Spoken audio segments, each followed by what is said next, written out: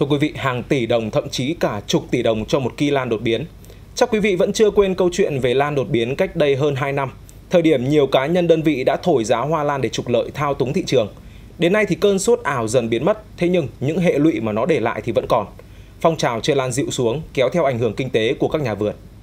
Nhằm tìm lại giá trị thực cho hoa lan, khôi phục lại thị trường cho loại cây cảnh đầy tiềm năng này, mới đây Hội Sinh vật cảnh tỉnh Thái Nguyên đã tổ chức triển lãm và hội thi hoa lan tại thành phố Thái Nguyên.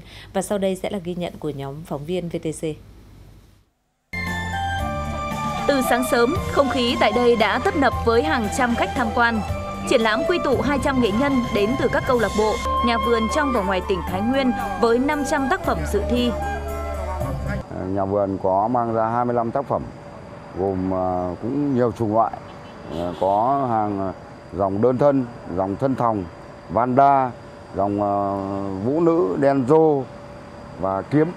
Hoa lan này là hoàng hậu xanh.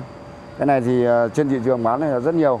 Cơ bản nhất là mình thích mà mình mua về siêu tầm mà mang ra đây trưng bày là mình ghép vào một cái cái trụ gỗ để mang ra nó to hơn nó nhiều bông hơn và đồng thời là nó nâng cao là cái cái, cái thẩm mỹ về cái giữa gỗ với lan Triển lãm do Hội Sinh vật cảnh tỉnh Thái Nguyên tổ chức nhằm quảng bá giới thiệu những tác phẩm hoa lan đẹp, có giá trị nghệ thuật, tạo đà xúc tiến du lịch, góp phần phát triển kinh tế xã hội, theo đại diện các hiệp hội, nhà vườn Chê Lan, triển lãm lần này mang ý nghĩa đặc biệt quan trọng khi được tổ chức sau thời điểm cơn bão giá lan đột biến quét qua, gây ảnh hưởng đến các hộ kinh doanh chân chính, ảnh hưởng đến niềm tin của những người yêu lan. Sau cái cơn lốc của cái lan đột biến, các phong trào nó cũng bị nắng xuống. Sau một thời gian thì với cái trách nhiệm làm là những người làm phong trào thì chúng tôi thấy rằng cần phải khôi phục lại cái niềm đam mê cho những người yêu lan chân chính và cũng đồng thời cái bảo tồn cái dòng lan quý hiếm trong tự nhiên và cái lan đặc hữu của vùng miền đối với tỉnh Thái Nguyên. À, định hướng của Hội Sinh vật cảnh Việt Nam cũng như là của các câu lạc bộ à, trực thuộc các cái hội sinh vật cảnh các tỉnh là sẽ đưa những hoạt động à, à, hoa lan nói riêng và các cái sinh vật cảnh nói chung lành mạnh trở lại.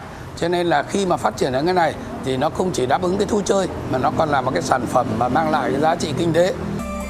Sau phần chấm điểm, ban tổ chức đã trao 7 giải vàng, một giải bạc cho những cá nhân sở hữu những tác phẩm xuất sắc. Theo đại diện ban tổ chức, trong cuộc thi lần này, các giám khảo không đề cao tiêu chí về giống lan, độ quý hiếm. Thay vào đó, các tác phẩm sẽ được đánh giá dựa theo 4 tiêu chí thiên về kỹ thuật là bộ hoa, bộ lá, bộ rễ và giá thể trồng cây.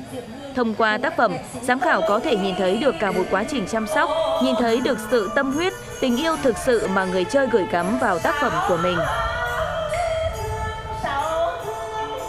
Thưa quý vị, theo số liệu của Tổng cục Hải quan, từ quy mô kim ngạch thời gian qua và những yếu tố tác động thời gian tới, có thể dự báo xuất khẩu rau quả cả năm 2023 đạt gần 4,9 tỷ đô la Mỹ, vượt xa kỷ lục đã đạt được vào năm 2018. Theo đó, xuất khẩu rau quả đạt hơn 2,03 tỷ đô la Mỹ trong hơn 5 tháng đầu năm, tăng 43% so với cùng kỳ năm trước.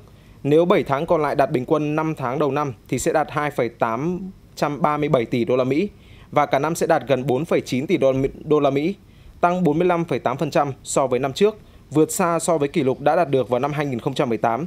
Dự kiến thời gian tới sẽ có thêm nhiều hơn các loại trái cây được mở cửa tới các thị trường lớn trên thế giới, qua đó hứa hẹn một năm xuất khẩu rau quả thành công nhất từ trước tới nay.